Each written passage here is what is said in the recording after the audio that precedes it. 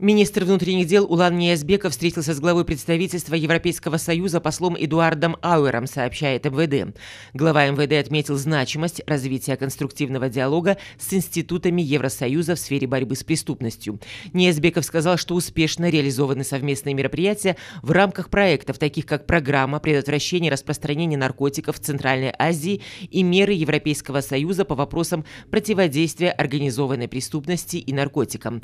Также начал реализовывать реализовываться региональный проект «Лейка» по поддержке правоохранительных и судебных органов Центральной Азии. Стороны обсудили результаты многолетней индикативной программы, в рамках которой приняты новые кодексы и законы.